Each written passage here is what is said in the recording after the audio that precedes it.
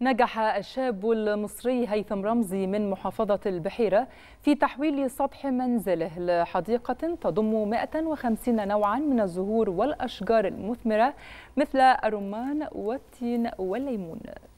لم يكن يدري ابن مدينة دمنهور بالبحيرة هيثم رمزي أن هوايته التي بدأها قبل سنوات ستحول سطح منزله إلى حديقة تمتلئ بمئات الأنواع من النباتات المزهرة أو الأشجار المثمرة. عندي تنوع كبير جدا من النباتات ما بين النباتات مثمرة وما بين نباتات زهرية. تقريبا عندي ال roof بتاعي يضم أكتر من 150 نوع من النباتات.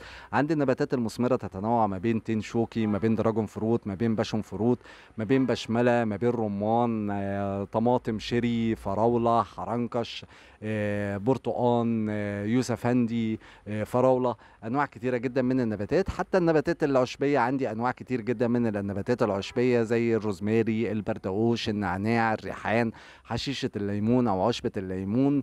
الصبارات أنا من الناس اللي بتحب الصبارات جدا. عندي تنوع كبير من الصبارات والعصاريات الموضوع عندي كمان بيبقى مختلف في الشتاء شوية لأن أنا عندي أنواع بتبقى موطنها الاصلي هولندا. فدي بتعيش في فترة الشتاء وبتموت عندنا في فصل الصيف. هنا التين والليمون والنخل والرمان ومئات الأنواع من النباتات المزهرة التي تجعل من سطح المنزل بستانا يمنح الراحة لساكنيه. كما أن هذه النباتات المثمرة تلبي احتياجات منزله من الخضر والفاكهة والأعشاب المزروعة دون كيماويات.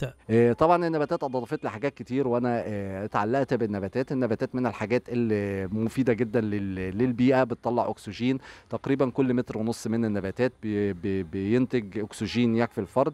فطبعا أنت بتبقى قاعد في بيئة بتتنفس فيها هواء نقي وهواء نظيف. أنا كمان ما بستخدمش عندي أي حاجة كيماوية. أنا التسميد بتاعي حتى كله organic حفاظا على صحتي للحاجات اللي أنا باكلها وحفاظا على البيئة وحفاظا على المناخ العام وخصوصا في ظل توجهات الدولة والسيد الرئيس لمؤتمر المناخ والحفاظ على البيئة. وعلى الرغم من أن تخصص هيثم في التسويق الإلكتروني إلا أنه نجح في زراعة 150 نوعا من الأشجار المثمرة المقزمة على سطح منزله بالإضافة إلى الطماطم والليمون والزهور والورود والأعشاب المستخدمة في المطابخ المصرية والعربية بعد خمس سنوات من التجارب مستخدما مواقع اليوتيوب في التعلم مؤمنا بدور الشباب في مكافحة أزمة المناخ عبر إنتاجهم من الزراعة الخضراء على الأسطح والشرفات.